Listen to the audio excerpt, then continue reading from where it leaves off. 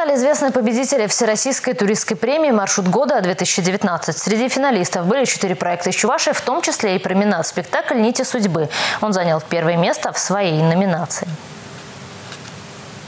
Спектакль «Нити судьбы» стартовал к 550-летию Чебоксар. Проект необычен тем, что главными героями становятся участники променада, а декорациями улицы города, окружающее пространство – театральной сценой. Доверившись голосам в беспроводных стереонаушниках, каждый желающий может стать частью многовековой истории и по-новому взглянуть на Чебоксары. Со зрителями город говорит голосами ведущих российских и чувашских актеров. Самые известные из них – Данила Страхов, Михаил Ефремов и Александр Бардуков. Спектакль экскурсии «Нити судьбы» на всероссийском Всероссийском туристском конкурсе занял первое место в номинации «Лучший маршрут в городе».